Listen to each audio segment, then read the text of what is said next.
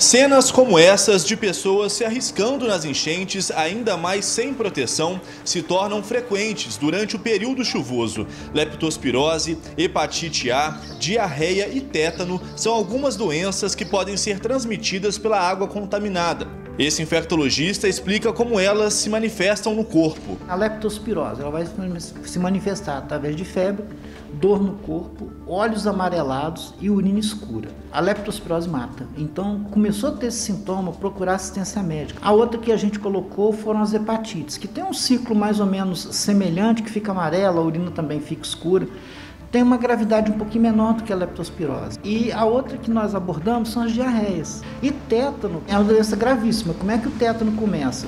Você nem percebe. É uma ferida pontiaguda que entrou algum ferro, alguma coisa enferrujada para dentro da pele.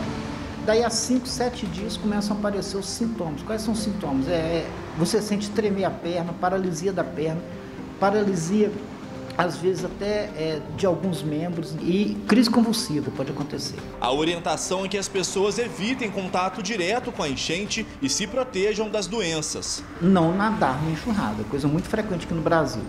Segunda coisa, não ingerir água da enxurrada. Tem uma pessoa que está na enxurrada com risco de vida, é claro que todos queremos ajudar, mas primeiro você tem que ver o seu próprio risco de não entrar na enxurrada. Usar bota. Se você quiser salvar alguém, ajudar alguém no meio do lamaçal, usa bota por causa da leptospirose.